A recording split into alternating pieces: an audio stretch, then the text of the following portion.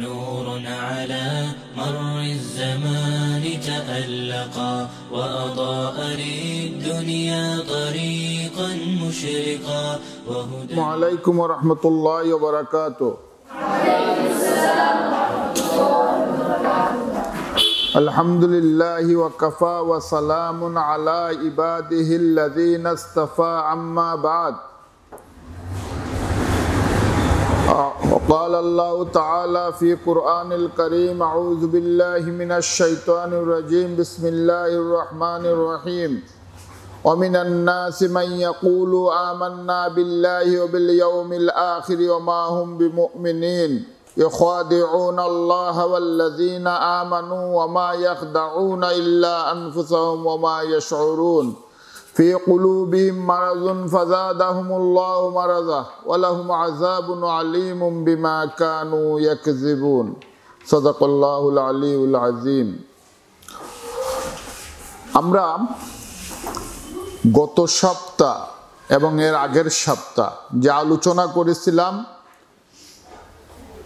আপনারা দয়া করে কাগজ কলম নিয়ে নোট রাখবেন কারণ নোট যদি না করেন, তাহলে আপনারা নিজেরাও স্মরণ রাখতে পারবেন না। পিছন যদি স্মরণে না থাকে, সামনের কথা বুঝতে আপনার অসুবিধা হবে। আমরা গত সপ্তাহ কি কি আলোচনা করেছিলাম আপনারা বা এর আগের সপ্তাহ? আমরা এর আগের সপ্তাহ সুরায় ফাতেহা আলোচনা করেছিলাম। সুরায় ফাতেহার মধ্যে আমরা তিনটা জিনিস পেয়েছিলাম। একটা হইল আল্লাহর প্রশংসা। আরেকটা হইল ইবাদত এবং নুসরতের কাকুতি। আরেকটা হচ্ছে নুসরতের বিষয় কি জিনিস আমরা সাহায্য চেয়েছিলাম আল্লাহর কাছে? এরপরে আমরা আসলাম সুরায় বাকারার প্রথম সাত আয়াত, প্রথম রুকুর প্রথম সাত আয়াত। এই সাত আয়াতের ভেতরে আমরা যে জিনিসগুলো উপলব্ধি করেছি, সেটা হচ্ছে এই কিতাব, কোরআন শরীফ, যেটা কোরআন শরীফের পরিচয় আমরা পেয়েছি। কি পেয়েছি? যে এটা নির্ভুল কিতাব। এটার মধ্যে কোনো ভুল নেই, এখানে কোনো সন্দেহ নেই, এবং এটা মুত্তাকিদের জন্য পথ প্রদর্শক। কোরআন শরীফের পরিচয়ের পর আমরা এখানে পেয়েছিলাম সুরায় বাকারার প্রথম রুকুতে যে মুত্তাকিদের পরিচয়। মুত্তাকিদের ছয়টি বৈশিষ্ট্য এখানে বর্ণনা করা হয়েছিল। যেমন তারা ইমান বিল গায়েব, তারা মানে গায়েবের উপর অদৃশ্য কিছু বিষয়ের উপর বিশ্বাস স্থাপন করেন। আমরা জেনেছিলাম নামাজের কথা মানে সালাত কায়েমের কথা। আমরা জেনেছি আমাদের নবীর উপর ইমান আনা এবং পূর্ববর্তী নবীদের উপর ইমান আনা। তাদের উপর যা নাজিল হয়েছে, কিতাব সেগুলার উপর ইমান আনা। পরকালের উপর বিশ্বাস করা। এরপরে ওই রুকুতে আল্লাহ পাক যারা এইসব ইমান আনবে এবং বিশ্বাসী হবে, তাদের সফল কাম হওয়ার বিষয়ে ঘোষণা দিয়েছেন। আমরা বিগত যে সুরায় বাকারার এক নম্বর আয়াত থেকে সাত নম্বর আয়াত পর্যন্ত আমরা এতটুকু জানতে পেরেছি। এরপরে আল্লাহ পাক এখানে কিছু কথা আলোচনা করেছেন আট নম্বর আয়াত থেকে। কিছু বিষয় আলোচনা করেছেন। দেখেন, আমরা জানলাম মুত্তাকি তো প্রত্যেক জিনিসের একটা মানে বিপরীত শব্দ থাকে। প্রত্যেক শব্দ কিছু বিপরীত শব্দ থাকে। তাহলে মুত্তাকিরও কিছু বিপরীত শব্দ রয়েছে। মুত্তাকিরও কিছু বিপরীত শব্দ রয়েছে। এখন যারা মুত্তাকি নয়, তারা কারা? যারা মুত্তাকি নয়, তারা কারা? এখন কোরআনের, পুরা কোরআন শরীফ পাঠ করলে আমরা যারা মুত্তাকি নয়, তাদেরকে আমরা দেখতে পাই হয় কাফের, যারা অবিশ্বাস করেছে। কোরআনের কথাকে অবিশ্বাস করেছে? তাদেরকে কোরআনের ভাষায় কি বলা হয়? কাফের। এই কাফের আরেকটা শ্রেণি পেয়েছি আমরা, মুনাফেক। মুনাফিক কারা? কাফের কারা? এখন কিছু ট্রাম আছে ইসলামী শরীয়তে, যেমন কাফের, মুনাফেক নাস্তিক, জিন্দিক, এগুলা বিভিন্ন শব্দ এবং কিছু, এগুলার আবার কিছু মশলা মাসাইল রয়েছে। এগুলা নিয়ে কোরআন শরীফের বিভিন্ন পর্বে আলোচনা হয়েছে। আমরা দেখা গেছে ওইসব শব্দের সঠিক অর্থ এবং ব্যাখ্যা না জানার কারণে আমরা যারে তারে মুনাফিক বলে ফেলি, যাকে তাকে কাফির বলে ফেলি, যাকে তকফির করা যাবে না, তাকে তকফির করে ফেলতেছি। যাকে নাস্তিক বলা যাবে না, তাকে নাস্তিক বলে ফেলতেছি। দেখেন, নাস্তিকের এক মশলা আবার মুরতাদের আরেক মশলা আপনি যদি নাস্তিক, শুধু একজন মানুষ নাস্তিক হয়, তাকে আপনি সরাসরি মুরতাদ বলতে পারবেন না, কারণ মুরতাদের মশলা আলাদা। এর জন্য এই ট্রামগুলা, শব্দের অর্থগুলাকে আমরা সঠিকভাবে যদি না বুঝি, তাহলে আমরা কি করব? ভুল ইনফরমেশন দেব ভুল কাজ করব, ভুল সিদ্ধান্ত নেব। যেমন একজন ন- অমুসলিম যিনি মুসলমান হননি, তাকে যদি আপনি মুরতাদ বলেন, এটা সঠিক হবে না। কারণ কোনো অমুসলিম মুরতাদ হতে পারে না। মুরতাদ তাকেই বলা হয় যে বিশ্বাস করে অস্বীকার করেছে। তাকে মুরতাদ বলা হয়। কিন্তু সে তো বিশ্বাসই করেনি। সে তো ঘোষণা দেয়নি, আমি মুসলমান। এজন্য এভাবে আপনাকে প্রত্যেকটা শব্দের অর্থ বলতে বুঝতে হবে। আল্লাহ পাক এই যে আট নম্বর রুকুতে এসে বলেছেন, অমিনান নাসি মাইয়াকুলু আমান্না বিল্লাহি ওবিল ইয়াউমিল আখিরি ওমা হুম বিমুমিনিন। একদল লোক আছে যারা বলে, ইয়াকুলু আমান্না বিল্লাহ। তারা বলে, আমরা ইমান এনেছি কার উপর? আল্লাহর উপর। ইয়াউমিল আখিরি, আখেরাতের দিনের উপর। অমাহুম বিমুমিনিন, আমরা মুমিনদের অন্তর্ভুক্ত। একদল লোক দাবি করে, কি দাবি করে?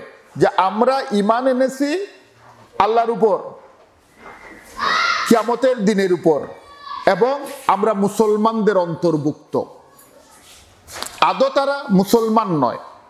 কোরআন বলতেছে, ওমাহুম বিমুমিনিন। তারা মুসলমান নয়। তারা বলে, আমরা আল্লাহর উপর ইমান এনেছি, পরকালের উপর ইমান এনেছি, কিন্তু তারা মুসলমান নয়।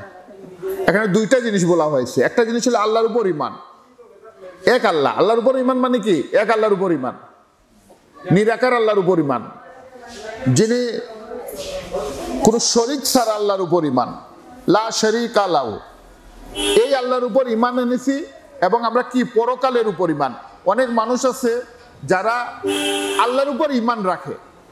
আল্লাহর উপর, উপরওয়ালা একজন আছে, এটা বিশ্বাস করে। আল্লাহ একজন আছেন, বিশ্বাস করে। কিন্তু হে কি করে না? পরকালকে বিশ্বাস করে না। সে মনে করে ওই জীবনটা শেষ, এরপরে আর কোনো জীবন নাই। এর জন্যই তারা বিশ্বাস করে না। এক ধরনের মানুষ আছে পৃথিবীতে। তো ওই শ্রেণির মানুষগুলার সাথে ব্যবধান সৃষ্টির জন্য এখানে পরকালের কথা বলা হয়েছে। যে যারা আল্লাহর উপর ইমান নেবে এবং পরকালের উপর ইমান আনে। তারা, আসলে তারা এটা করে না। তারা মানুষকে দুকা দেওয়ার জন্য এটা করে। এই শ্রেণির মানুষদেরকে কি বলা হয়েছে? মুনাফিক বলা হয়েছে। এটা যে সময় এই আয়াত নাজিল হয়েছে, আমরা আগেই শুরুতে বলেছিলাম সুরায় বাকারার। সুরায় বাকারা কোথায় নাজিল হয়েছে? জুড়ে বলেন। মদিনা শরীফে নাজিল হয়েছে। সুরায় বাকারা কোথায় নাজিল হয়েছে? মদিনা শরীফে। তো মদিনা শরীফে যখন নাজিল হয়েছে তখন এই আয়াতটা নাজিল হওয়ার একটা প্রেক্ষাপট আছে একটা শানে নজুল আছে। এখানে হাদিসের মধ্যে আছে এই আয়াত নাজিল হয়েছে ইয়াহুদিদের কিছু সর্দার ছিল মদিনায়। ওরা মসজিদে নববীতে নামাজ পড়তো। বলতো, আমরা ইমানদার। এবং নিজেকে মুসলমান দাবি করত। প্রকৃতপক্ষে তারা মুসলমান ছিল না। তারা অমুসলিমদেরকে সাহায্য করত। গোপনে মুসলমানদের খবর ওদের কাছে পৌঁছাইতো। তাদের মধ্যে যাদের নাম আমরা পেয়ে থাকি, তা একজন হচ্ছেন আবদুল্লাহ ইবনে উবাই ইবনে সলুল, মাতাব ইবনে কুশায়ের জাদ্দ ইবনে কায়েস। যারা ইহুদি সর্দার ছিল, তারা তাদের নেতৃত্বকে ধরে রাখার জন্য তারা এমন কাজ করত। তারা করত কি? তারা মসজিদে আসতো নাম্পা পাগড়ি ছিল, লাম্পা পাঞ্জাবি ছিল, তাদের লাম্পা দাড়ি ছিল, নামাজ পড়ে তাদের মাথায় কর পরে গিয়েছিল এবং তারা দাবি করত যে আমরা হচ্ছি গিয়া মুসলমান, আমরা আল্লাহর উপর ইমান এনেছি, আমরা আখেরাতের উপর ইমান এনেছি। কিন্তু তারা ইমানদার ছিল না। আমাদের সমাজেও এই ধরনের কিছু লোক আছে না যে যারা মসজিদে গিয়ে বলেন যে আমরা তো পাক্কা নামাজি, পাক্কা রোজাদার, অথবা তারা মন্দিরে গিয়েও বলেন যে আমরা চাই কৃষ্ণের আদর্শ পৃথিবীতে বাস্তবায়িত হোক। আবার মসজিদে এসে বলেন, আমরা চাই আল্লাহর রসুলের আদর্শ বাস্তবায়িত হোক। আসলে প্রকৃতপক্ষে তারা এগুলা করেন কেন বুটের জন্য? এরা কিসের জন্য করেন? বুটের জন্য করেন, বা কোনো স্বার্থ হাসিলের জন্য। মানুষকে তাদের পক্ষে নিয়ে আসার জন্য অন্তর থেকে তারা এটা বিশ্বাস করেন না। এদেরকে কোরআনের বাসায় কি বলা হয়েছে? মুনাফিক মুনাফিক। মুনাফেক অর্থ নিফাক যারা করে, নিফাক যারা করে তাদেরকে মুনাফিক বলে। নিফাক মানে যাদের মনের মধ্যে কপটতা আছে, কাজে কথায় বেমিল আছে এক এক সময় এক এক কথা বলে, দুমুখী সাপের মতো তার কোনো চরিত্র থাকে না সে এদিকেও কথা বলে, ওদিকেও কথা বলে, এদিকেও চুবল মারে, ওদিকেও চুবল মারে, ওই দিক থেকেও মিষ্টি খায়, মিথ্যা কথা বলে, ওই দিক থেকেও মিষ্টি খায়। মানে তাদেরকে বলা হয় মুনাফিক। মুনাফিক নিফাক দুই প্রকারের হয়। নিফাক কয় প্রকারের? নিফাক হচ্ছে নিফাকে ইতেকাদি এবং নিফাকে আমলি। ইতেকাদি মানে বিশ্বাসগতভাবে নিফাক। একদল মানুষের নিফাক হচ্ছে মুনাফিকি হচ্ছে বিশ্বাসগতভাবে। আর একদল মানুষের মুনাফিকি হচ্ছে আমলগতভাবে। বিশ্বাসগতভাবে যারা মুনাফিক, তারা লেবাসে, পোশাকে চলায়, ফেরায়, বোঝা যায় পাক্কা ইমানদার। ওই যে যাদের কথা আল্লাহ এখানে বলেছেন, যে তারা বলে আমরা ইমান এনেছি আল্লাহর উপর এবং ইমান পরে পরকালের উপর, কিন্তু তারা ইমান আসলে আনে নাই। এরা হলো বিশ্বাসগতভাবে তারা কি নিফাক করেছে। সবচেয়ে মারাত্মক নিফাক হচ্ছে এই নিফাকে ইতেকাদি। কারণ এটা ধরা যায় না। সামনে বোঝা যায় উনি আল্লাহর অলি উনি বুজুর্গ, উনি ভালো মানুষ, উনি ফেরেস্তা উনি উনি খুবই আমানতদার। উনি কালো কারবারি করতেই পারেন না, উনি ঘুষ খাইতেই পারেন না, উনি সুদ খাইতেই পারেন না, উনি অন্যের মাল আত্মসাত করতে পারেন না নে নে উনি কাউকে, কারও হক নষ্ট করতে পারেন না, এমন মনে হয় দেখতে। কিন্তু তার ভেতরের ভিতরে সে অনেকগুলা শয়তানিকে লালন করে। এটাকে নিফাকে ইতেকাদি বলে। মানে বিশ্বাসগত দিকে সে মুনাফিক। এটা সবচেয়ে মারাত্মক মুনাফিকি। আরেকটা হচ্ছে আমলি মুনাফিকি। আমলি মুনাফিকি মানে হলো সে এমনি একটা ভুলবশত করে ফেলছে কাজ। আপনাকে বলছে যে আটটার সময় আসছেন আপনি আটটার সময়, সে ভুলে গেছে আটটায় আসতে। আটটা আসতে ভুলে গেছে। আমানত আপনি রাখছেন, সে আমানত ভুলবশত ভেঙে ফেলেছে। ইচ্ছাকৃত না। আর কেউ আছে, সে ইচ্ছাকৃত আপনার কাছ থেকে ডেস্টেনি মার্কা এবং কি আরও কিছু কোম্পানি আছে না আচ্ছা আপনাকে এমন এমন লাভ দেখায়, আসলে আপনার টাকা মেরে খাওয়ার জন্য। এটা হচ্ছে গিয়া বিশ্বাসগত মুনাফিকি।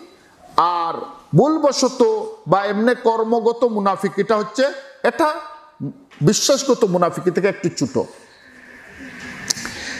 ইতেকাদি মুনাফিকি, এই যে আল্লাপাক কোরআন শরীফের মধ্যে সুরায় মুনাফিকুন নামে একটা সুরাও নাজিল করেছেন। মানে মুনাফেকের অবস্থা খুবই খারাপ। আমরা হজরত আবদুল্লাহ ইবনে আমর কর্তৃক বখারি শরীফের একটি হাদিসের মধ্যে আমলি মুনাফিকিকে চার প্রকারের বলা হয়েছে। আমলি মুনাফিকি কয় প্রকার? চার প্রকার। সে আমানতে খেয়ানত করে। সে কি করে? আমানতে খেয়ানত করে। আমানতে খেয়ানত মানে কি? আমানতে খেয়ানত মানে কি? তার কাছে কিছু রাখলে সে কি করে? ওইটাকে নষ্ট করে ফেলে। যেমন টাকা আমানত রাখলে সে টাকা এগুলা খরচ করে ফেলে।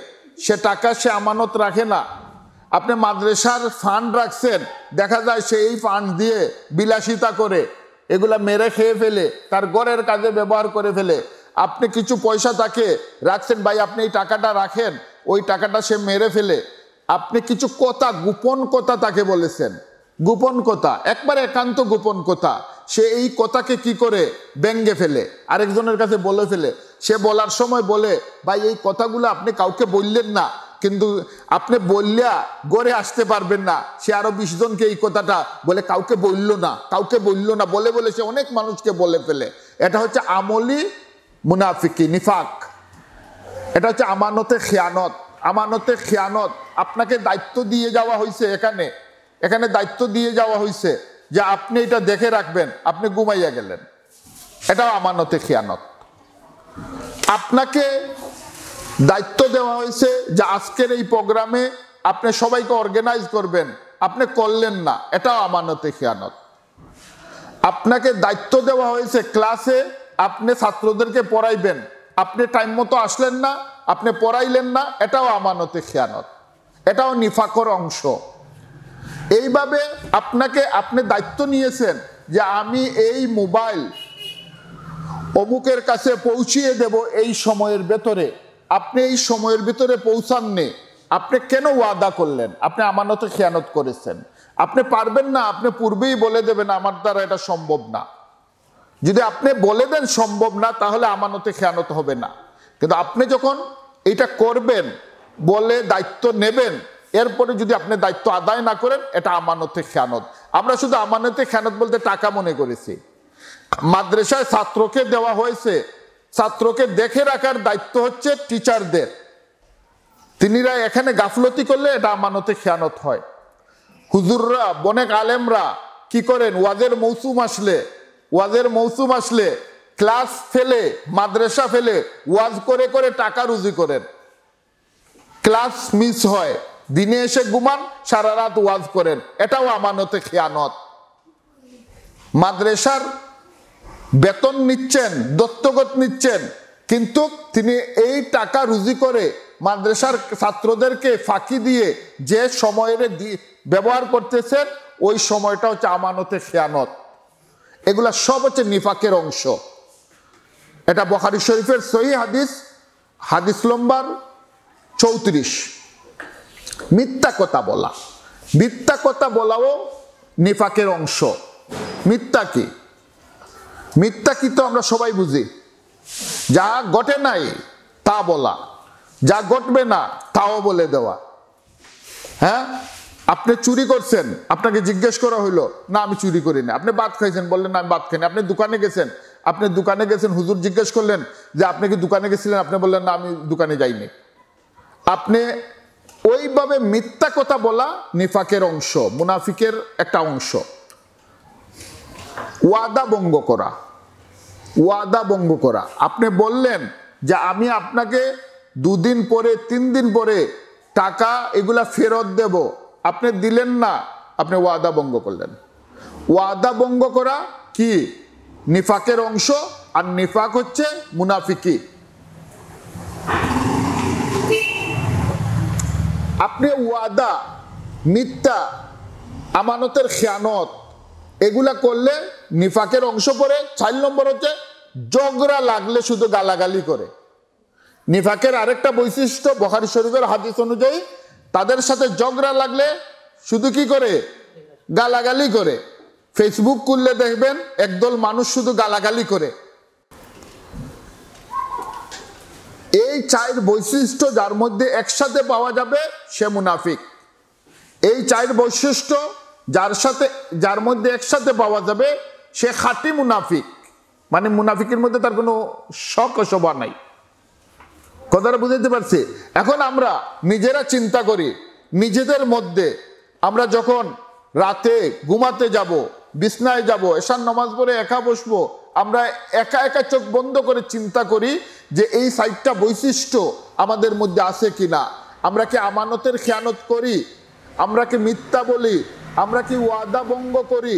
আমরা কি ঝগড়া লাগলে গালাগালি করি? যদি আমাদের মধ্যে চারটা বৈশিষ্ট্য থাকে তাহলে আমরা কি? হ্যাঁ? জুড়ে বলেন। আমরা মুনাফিক হিসাবে চিহ্নিত হব হাদিসের বাসায়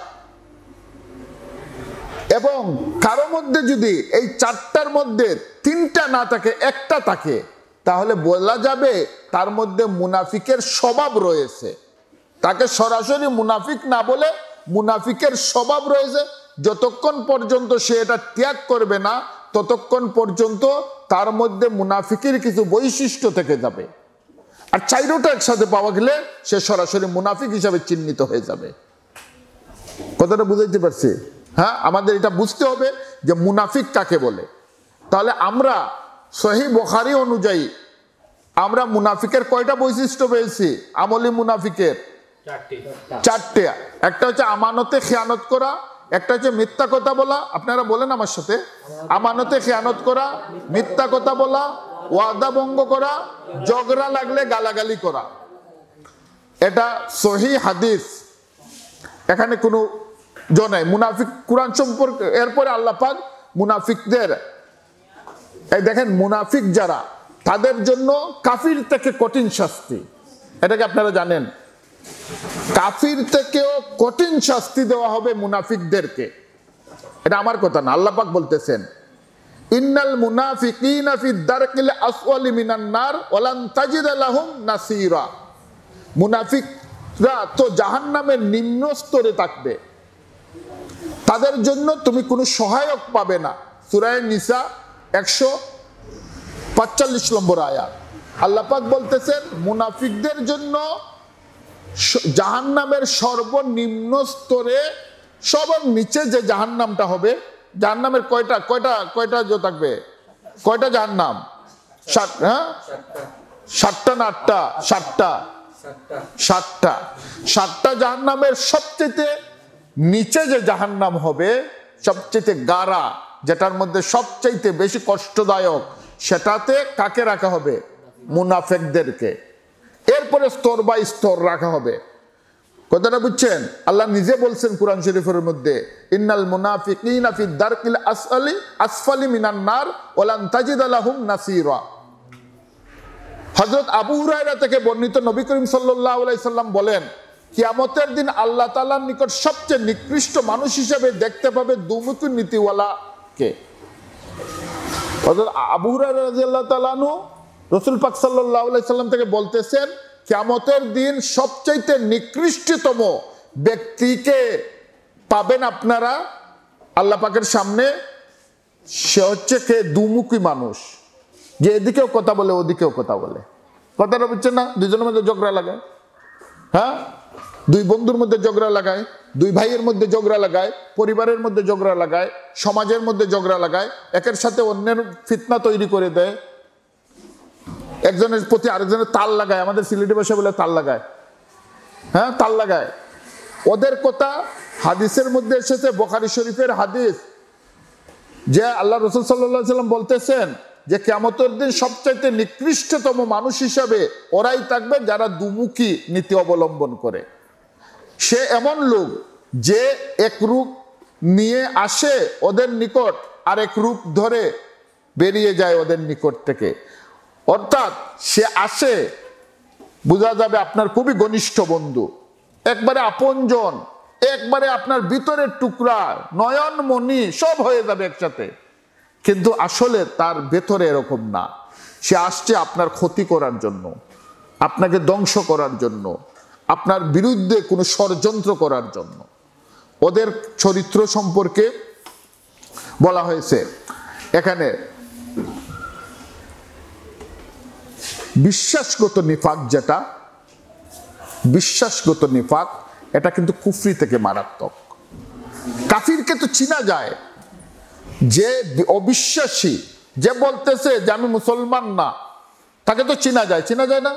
যে উনি হচ্ছেন কিন্তু যে এসে বলতেছে, আমি মুসলমান আমি মুসলমান, কিন্তু আপনাকে প্রতারণা করতেছে।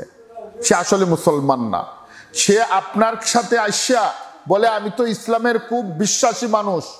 আমি ইসলাম প্রতিষ্ঠার জন্য, ইসলামের কর্মের জন্য, আমি মাদ্রাসা, মসজিদের সাহায্যের জন্য, আমি নিবেদিত প্রাণ। সে হাজার হাজার টাকা নেয়, দেয় আপনাকে। দিয়ে কি করে? ইসলামের ক্ষতি করে, মুসলমানের ক্ষতি করে তেমনিভাবে শুধু ইসলাম আর মুসলমান না, সে মানুষের কাছে যায়, মানুষের সামনে সে মানবতার কথা বলে। কি বলে? মানবতার কথা বলে, মানুষের মুক্তির কথা বলে, মানুষের কি করে? অধিকারের কথা বলে। আসলে সেই মানুষের অধিকার বেশি হরণ করে। সে কি করে? সে মানুষকে বলে, যেমন মনে করেন, সে বলে যে আমি হিন্দু ধর্মের রক্ষক, আর সে পরে কি করে? হিন্দু ধর্মের সম্পত্তি দখল করে, দেবত্ব সম্পত্তি দখল করে। কথাটা বুঝতে পারতেছ? তেমনি ভাবে সে মসজিদের রক্ষক হয়। হইয়া কি করে? মসজিদের সম্পদ দখল করে। মসজিদের সম্পদ কি করে? চুরি করে ডাকাতি করে। সেখান থেকে আত্মসাৎ করে নিয়ে খায়। সে কি? সে কি? বলেন সে মুনাফিক। ওই চরিত্র সে অন্তরে লালন করে মুনাফিকি বাইরে দেখায় বালা মানছি। এটা কিন্তু কুফরি থেকে আরও খারাপ। এটা কিসের থেকে খারাপ? কুফরি থেকে খারাপ। আল্লাহ বলতেছেন يخادعون الله والذين آمنوا وما يخدعون إلا أنفسهم وما يشعرون তারা আল্লাহ ও ইমানদারদেরকে দুকা দেয় তারা কাকে দুকা দেয় আল্লাহ এবং ইমানদারদেরকে অথচ এতে তারা নিজেদের ছাড়া অন্য কাউকে দুকা দিতে পারে না ইউখাদিউন আল্লাহ তারা ধোকা দেয় আল্লাহকে আমানু ইমানদারকে আল্লাহ তারা তাদের নফসকে দুকা দেয়, আর কাউকে দুকা দিতে পারে না। ওমা ইয়াশউরুন, তারা নিজেরাও তা বুঝতে পারে না। এখন দেখেন, খাদউন শব্দের খাদুন ইখাদিউ আরবরা আরবরা খাদউন শব্দ ব্যবহার করে ওই কাজ, ওই মুনাফিকদের ক্ষেত্রে, ওই দুমুখীদের ক্ষেত্রে যারা জানে যে আমরা এটা যা করতেছি, আমি যখন তোমাকে এসে বললাম যে তোমার এক হাজার টাকা আমি মেরে খেয়ে ফেলেছি, তুমি এটা শুনলে তো রাগ করবে। রাগ করবে না? তুমি রাগ করবে। আমি এসে বললাম যে তোমার ব্যাংকে আমি এক লক্ষ টাকা রেখে দিয়েছি, তুমি শুনলে খুশি হবে। খুশি হবে না? তো তারা করে কি? যারা জানে যে এসে বলে যদি যে আমি মুসলমান হয়ে গেছি, তাহলে এখানে মুসলমানরা খুশি হবে। খুশি হবে না? ওই নিয়তে যারা এসে দুকা দেয়, তাদের বর্ণনা করতে গিয়ে আরবরা খাদুন শব্দ ব্যবহার করে। এর জন্য আল্লাপাক এখানে আল্লাহ বলেছেন, তারা দুকা দেয়, অর্থাৎ তারা গোপন করে গোপন করে। খাদুন শব্দের অর্থ হলো গোপন করা। সত্যকে কি করা? খাদুন অর্থ সত্যকে গোপন করা। তারা কি করে? সত্যকে গোপন করে। তোমার অপছন্দনীয় জিনিসকে তারা গোপন করে। যে জিনিস তুমি অপছন্দ করবে, এটাকে গোপন করে তোমাকে দুকা দেওয়ার জন্য তারা কি করে? এমন জিনিস উপস্থাপন করে যেটা তুমি পছন্দ করো। যেমন নির্বাচনের সময় আসলে নেতারা কি করেন? নেতারা মসজিদে গিয়ে এমন কথা বলেন যে কথা বললে তুমি তাকে বুড় দেবে। মন্দিরে গিয়ে এমন কথা বলেন, যে কথা বললে তুমি তাকে বুট দেবে। তারা বলেন, রাস্তা ঠিক করে দেবেন। আসলে তাদের অন্তর রাস্তা ঠিক করা না। অন্তরে হচ্ছে বুট কালেকশন করা। তারা বলবেন, আপনার ড্রেন ঠিক করে দেবেন। আপনার এখানে টিপুখল দেবেন। পানির ব্যবস্থা করে দেবেন। বলেন না? হ্যাঁ? এইভাবে তারা জানেন, তারা এটা পারবেন না। বা করবেন না, তারপরে তারা ওয়াদা করেন। এটাকেই বলে খাদুন। খাদুন শব্দ ব্যবহার করেন। তা আল্লাহ এখানে বলতেছেন ইখাদিউন আল্লাহ। তারা কাকে দুকা দেয়? আল্লাহকে। আচ্ছা আল্লাহকে কি দুকা দেওয়া সম্ভব? হ্যাঁ? আল্লাহকে কি দুকা দেওয়া সম্ভব? না, আল্লাহকে দুকা দেওয়া সম্ভব নয়। এর জন্য এখানে হজরত আবদুল্লাহ ইবনে আব্বাস রাজি আল্লাহ তালু বলেছেন, আসলে রসুলকে দুকা দেওয়া মানে হচ্ছে আল্লাহকে দুকা দেওয়া। এখানে আল্লাহকে দুকা দেওয়ার অর্থ কি? আসলে রাসুলকে দুকা দেওয়া হচ্ছে, ইমানদারদেরকে দুকা দেওয়া হচ্ছে, এর জন্য আল্লাহ এটা তার দিকে নিষ্পত করে ফেলেছেন। আল্লাহ কি করছেন? আল্লাহ তার রাসুলকে এবং ইমানদারকে দুকা দেওয়া মানে তিনি ধরে নিয়েছেন তাকে আল্লাহকে দুকা দেওয়া। ওই যেন ফকিরকে ভিক্ষা দিলে আল্লাহ বলেন না যে, সে যেমন আমাকে ভিক্ষা দিল। এইভাবে এটা প্রতীকী হিসাবে বলা হয়েছে ইখাদিউন আল্লাহ মানে আল্লাহকে কিন্তু দুকা দেওয়া যায় না। আল্লাহ সব জানতা, সব দেখনেওয়ালা, সব বুঝনেওয়ালা, কে দুকা দেবে, কে দুকা দেবে না, সব কিছু আল্লাহ জানেন। আল্লাহ অন্তর জামে যার কারণে তোমার অন্তরের ভিতরে যে দুকা দেওয়ার চিন্তা, এটাও সম্ভব না আল্লাহর সামনে। তারপরে আল্লাহ এখানে কি বলেছেন? ইখাদিউন আল্লাহ, তারা ধোকা দেয় আল্লাহকে এবং রাসুলকে এবং মুমিনদেরকে, ইমানদারদেরকে। রসুল হচ্ছেন আল্লাহর প্রতিনিধি। আল্লাহকে দেখেন আমার আমি আমি যদি আমার প্রতিনিধি এক জায়গায় পাঠাই, আমি যদি আমার প্রতিনিধি পাঠাই যে যাও, তুমি গিয়ে অমুকের সাথে দেখা করো, আমার কথা বলো। তিনি কে বলল, তার কাছে আমি এক হাজার টাকা পাইতাম ওইটা দেওয়ার জন্য। আর তুমি যাওয়ার পরে যদি সেই লোকটা তোমাকে তাপ্পর একটা দিয়ে দেয় সে কাকে তাপ্পর দিল? যে পাঠাইছে তাকে তাপ্পর দিল। তাকে তাপ্পর দিল না? হ্যাঁ? আমি পাঠাইছি আমার প্রতিনিধি, যেমন মনে করেন এখানে সিলেটের ডিসি সাহেব। ডিসি সাহেব কার প্রতিনিধি? সরকারের। এখন যদি আমি ডিসি সাহেবকে আক্রমণ করি, এটা মূলত প্রধানমন্ত্রীকে আক্রমণ করা হইল। কারণ তিনি হচ্ছেন প্রধান, প্রধানমন্ত্রীর রিপ্রেজেন্টেটিভ কার রিপ্রেজেন্টেটিভ প্রধানমন্ত্রীর, সরকারের রিপ্রেজেন্টেটিভ একজন ডিসিকে আক্রমণ করা মানে গোটা সরকারকে আক্রমণ করা। কথাটা বুঝাইতে পারছি। তেমনি ভাবে আল্লাহর রসুলকে গালি দেওয়া মানে হচ্ছে আল্লাহকে গালি দেওয়া। কারণ তিনি তো আল্লাহর প্রতিনিধি, আল্লাহর রসুল। কথাটা বুঝছেন? আবার আল্লাহর রসুলকে মানা হচ্ছে আল্লাহকে মানা। আল্লাহ নিজেই বলেছেন এখানে যে মাইয়ুতি রাসুলা ফাকাদ আত আল্লাহ। মাইয়ুতি রাসুলা ফাকাদ আত আল্লাহ। কেউ রাসুলকে আনুগত্য করলে সে তো আল্লাহরই আনুগত্য করল। সুরাই নিসার আশি নম্বর আয়াত। এরপরে আবার আল্লাহ বলতেছেন অন্য আয়াতের মধ্যে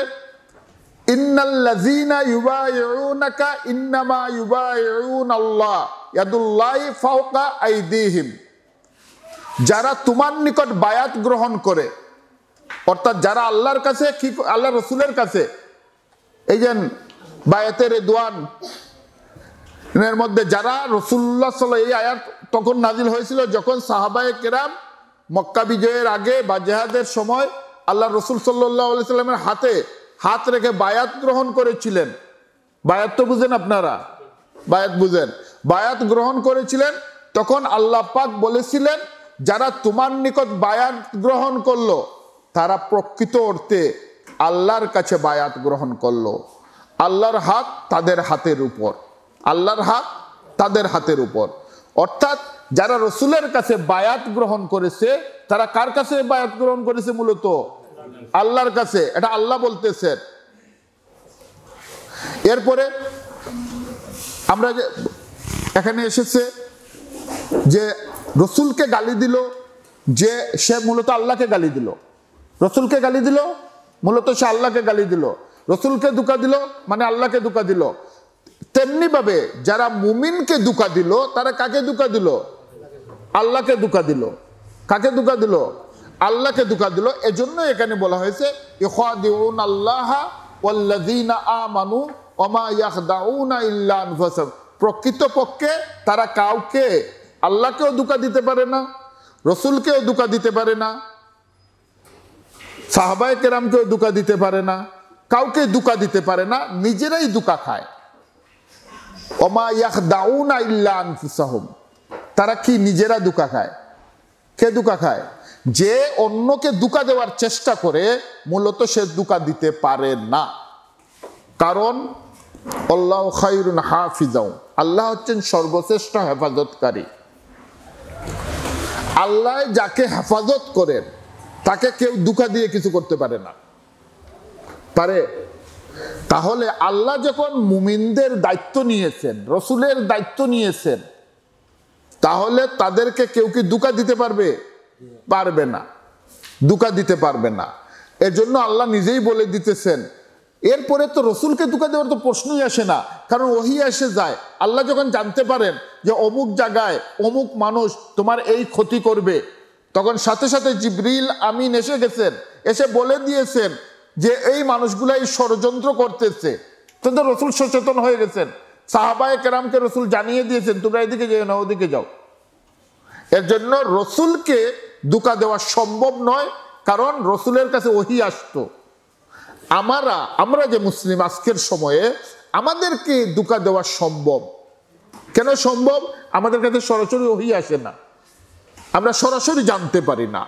কিন্তু আমরা যদি কোরআন এবং সুন্না অনুযায়ী নিজের জীবনকে গঠন করি, তা আল্লাপাক অন্তরের ভেতরে আমাদের জন্য কি করেন? ওই রক্ষা করার বিষয়টি অনুধাবনের ভিতরে ঢুকিয়ে দেন। অনুধাবনের বিকনে এবং আমরা যদি সবসময় দোয়া করি হাসবুন আল্লাহ নিয়মাল ওয়াকিল, নিয়মাল মৌলা ও নিয়মান নাসির। আল্লাহ, তুমি হচ্ছে আমাদের ওয়াকিল। ওয়াকিল তো বুঝো উকিল। আর তুমি সাহায্যকারী, আর তুমি আমাদেরকে করা। এরপরে আমরা যদি দোয়া করি এহদিনা সিরাত আল মুস্তাকিম সিরাত আল্লাহ আল্লাহ তুমি আমাদেরকে সরল, সহজ পথে চালাইও। এরপরে আল্লাহর কাছে দোয়া করি, রাব্বানা আতিনা ফিদ দুনিয়া হাসানা তমফিল আখিরাতে হাসানা। আল্লাহ, তুমি আমাদের দুনিয়া আখিরাতকে সুন্দর করো।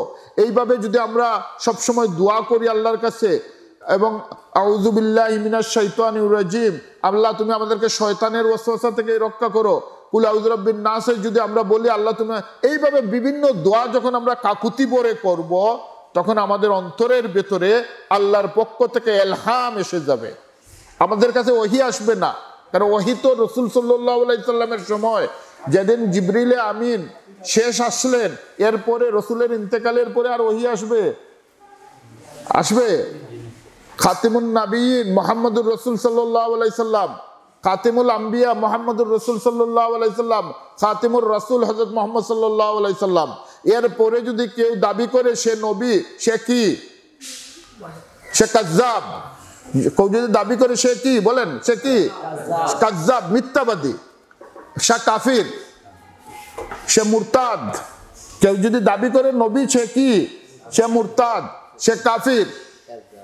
কাজাব রসুল সাল্লাহ জিব্রিলে আমিন আর আসবেন না ওহি নিয়ে। তার কারণে আমরা আর জানব না ভিতরে কি হইতেছে। কিন্তু জানার কিছু প্রসেস আছে, যেটা এলহামের মাধ্যমে। আপনি যখন আপনার আত্মাকে পরিশুদ্ধ করবেন, আত্মাকে মুনাফিকি মুক্ত করবেন, আত্মা থেকে নিফাককে বের করে দেবেন, আপনি আল্লাহর জিকির করবেন, আল্লাহর ধ্যান করবেন, রসুলের সুন্নত অনুযায়ী চলবেন তখন আল্লাহ পাক আপনার অন্তরকে এমনভাবে আয়নার মতো করে দেবে যে কোথায় কি ঘটতেছে, আপনার অন্তরের ভেতরে এটা ফ্লাশ হইতে থাকবে। ফ্লাশ আল্লাহ পাক দেখবেন আপনাকে স্বপ্ন যুগে এগুলা দেখাইয়া দিতেছে, এইভাবে এই এই এই ঘটতেছে। দেখবেন আপনি চিন্তা করলে এমন পথ পেয়ে যাবেন যে পথ সঠিক পথ। এরপরে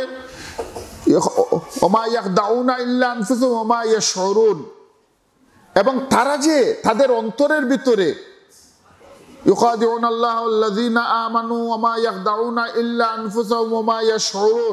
তাদের অন্তরের ভেতরে যে মরিজ রয়েছে, এরপরে আল্লাপাক পরের আয়াতে বলতেছেন, ফি কুলুবি মারাজুন। তারা তো দুকা দিতে পারে না, তারা নিজেরাই দুকা খায়। এরপরে বলতেছেন, কেন তারা দুকা খায়? কেন বুঝে না তারা? তারা কেন বুঝতে পারে না যে তারা যে দুকা খাচ্ছে?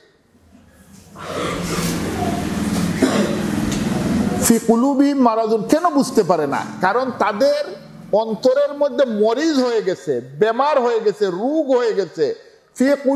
মারাজুন তাদের অন্তরের ভেতরে কি হয়েছে? রোগ হয়ে গেছে। রোগটা কি? রোগটা কি? নিফাকের রোগ হয়ে গেছে। তাদের চোখ বন্ধ হয়ে গেছে। তাদের কি হয়েছে? ফিকুলুবি ফাজাদাহমুল্লাহ মারাজা। তাদের যে রূপ বৃদ্ধি করে দিয়েছেন আল্লাহ, তাদের অন্তরের রূপকে কি করেছেন? আল্লাহ তালা আরও বৃদ্ধি করে দিয়েছেন। আর তাদের জন্য কি রয়েছে? বিমা কানু ইয়াকে জীবন ওলাহুম আজাবুন আলিমুম বিমা কানু ইয়াকে জীবন তাদের জন্য কঠিন শাস্তি রয়েছে। কেন? কেন রয়েছে কঠিন শাস্তি? তারা মিথ্যা বলতো এই জন্য বিমা কানু একে জীবন যেহেতু তারা মিথ্যা বলতো।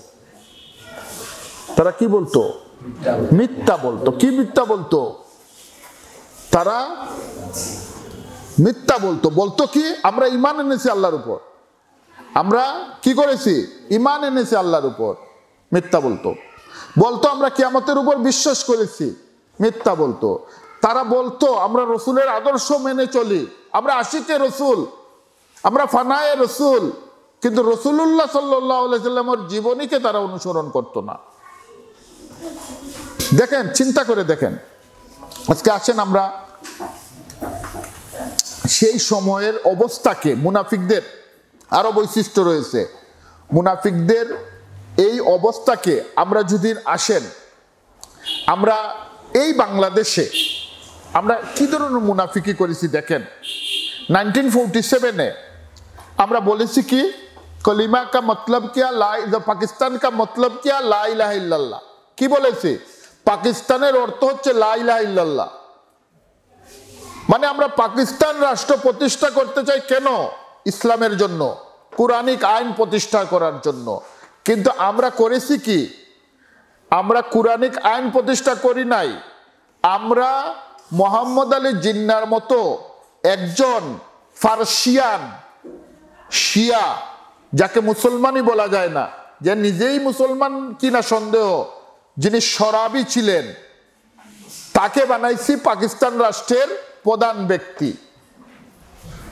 বানাইয়া আমরা কি করেছি? পাকিস্তান ইসলামী হুকুমতের নামে আমরা কি করেছি?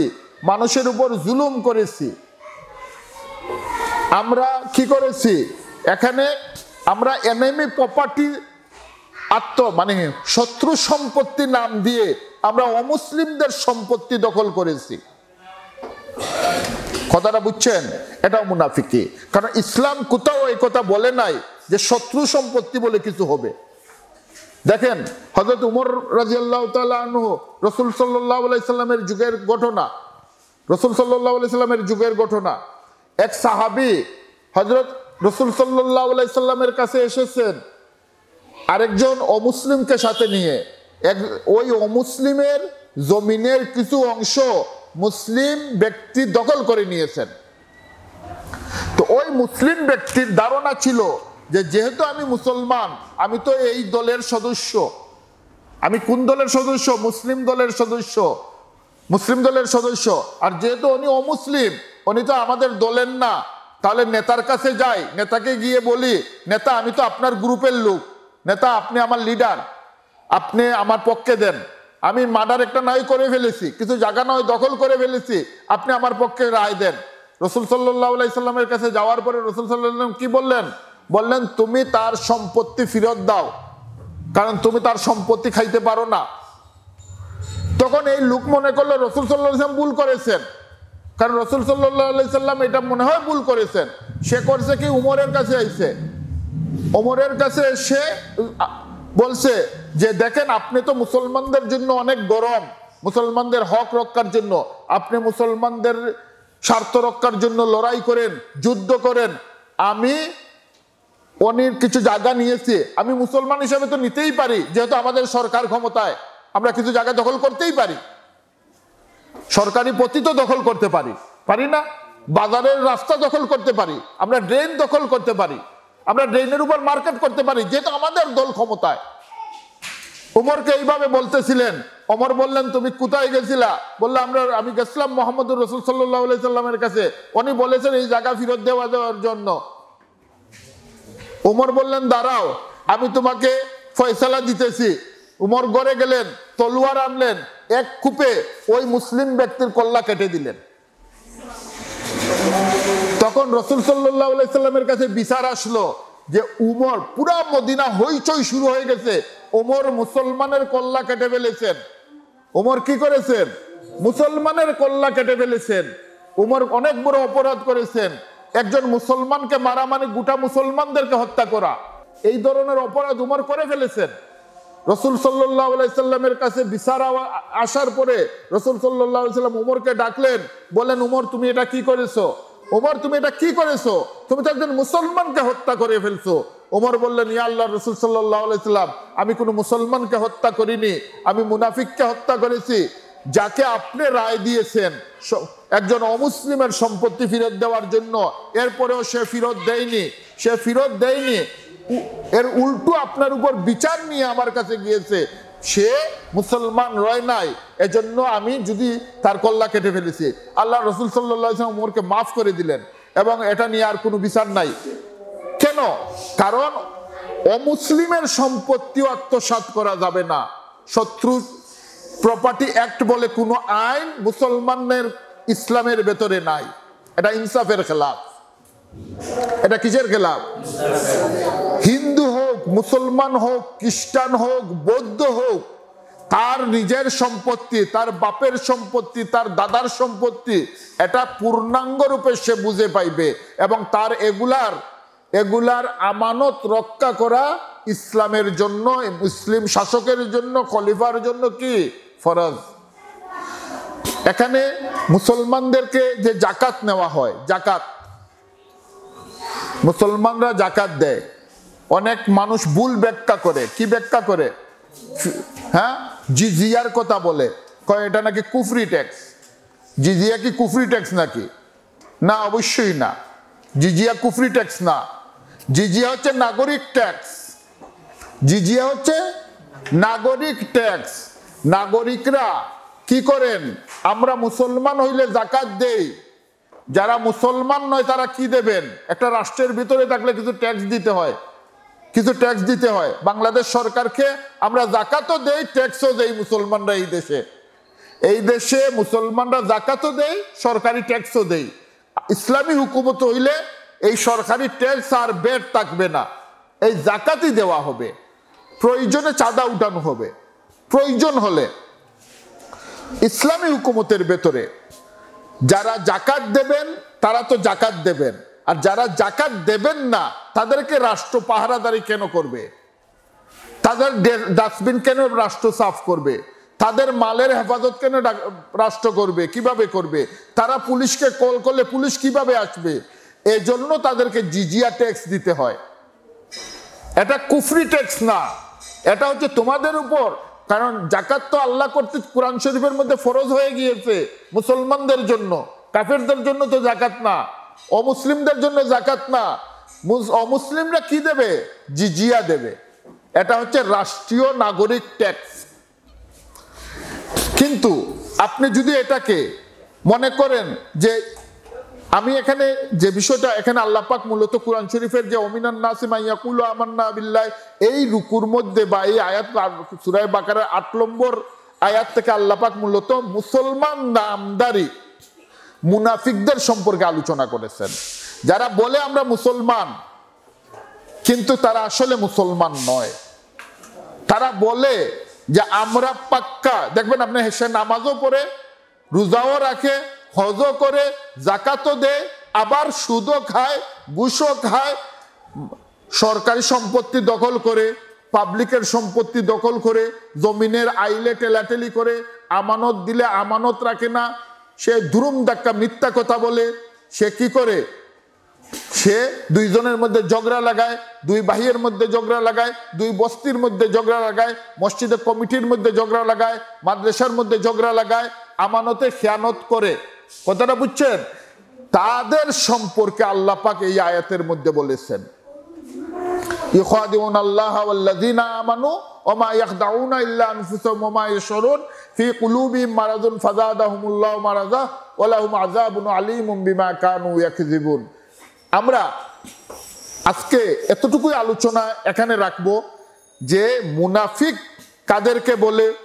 মুনাফিক কীভাবে? আমরা পরবর্তী আয়াতগুলোতে আল্লাহ আরও অনেক কথা বলেছেন।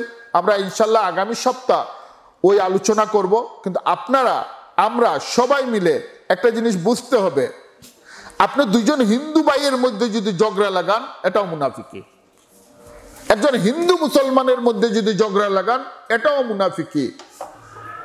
নাইনটিন ফোরটি সেভেনে হিন্দু মুসলিম দাঙ্গা হয়েছিল। সৃষ্টি করেছিলেন, এটাকে পাদ্রীরা সৃষ্টি করেছিলেন, এটাকে ব্রাহ্মণরা সৃষ্টি করেছিলেন মুঠেও না। এগুলা সৃষ্টি করেছিলেন এদেশের রাজনীতিবিদরা, এদেশের মুনাফিক রাজনীতিবিদরা। তাদের ক্ষমতার লালচে তারা হিন্দু, মুসলিম দাঙ্গা সৃষ্টি করে, রাষ্ট্রকে ভাগ করে, বিভক্ত করে, তারা কি করেছেন? ক্ষমতার মসনদে বসেছেন।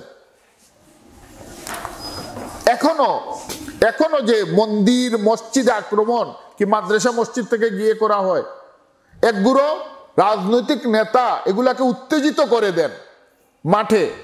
উত্তেজিত কথা বলেন, উত্তেজিত করেন একে অন্যের প্রতি। রাতে গোপনে তারা কি করেন? হয় মসজিদের সামনে এনে তারা কি করেন? সোরের গুস্ত রেখে দেন, অথবা মন্দিরের মধ্যে নিয়ে গরুর গুস্ত রেখে দেন, রেখে দিয়ে জগরা তৈরি করেন। ঝগড়া তৈরি করে, হিন্দু, মুসলিম দাঙ্গা তৈরি করে, তারা ক্ষমতার মসনদকে পাকাপুক্ত করেন আমরা যদি ওই চরিত্রগুলো কোরআন, হাদিস বুঝে আবিষ্কার করতে পারি, তাহলে আমাদেরকে কেউ দুঃখা দিতে পারবে না। আমরা শুধু শুধু শুধু শুধু বলব না, অমুককে নাস্তিক, অমুককে মুরতাদ, অমুক এই হয়ে গেছে। আপনাকে, আমাকে বুঝতে হবে মুরতাদ কাকে বলে, নাস্তিক কাকে বলে, মুনাফিক কাকে বলে, কাফির কাকে বলে। কতটুক কাজ করলে একজন মানুষকে কাফির বলা যায়? কতটুক কাজ করলে মুনাফিক বলা যায়? কতটুক কাজ করলে মুরতাদ বলা যায়? কতটুক কাজ করলে জিন্দিক বলা যায়? এগুলাকে বিভক্ত করে যদি আমরা না বুঝি, তাহলে আমাদেরকে কি করবে? জাহিল নেতারা এসে হঠাৎ বলবে, অমুক নাস্তিক হয়ে গেছে, আমরা একটা মিছিল বার করব। মিছিল বার করে হইচই শুরু করে দেবো সারা দেশে। এরপরে দেখা যাবে ভিতরে কিছু নেই। নেতারা ক্ষমতায় বসবে, আর আমরা পিঠা খাইয়া, রক্তাক্ত হইয়া, জেলে গিয়া, এরপরে মামলা, আমি আমার মামলা গাইবো, নেতারা বৈশা খেজুর খাবে। কথাটা বুঝাইতে পারছি? হ্যাঁ?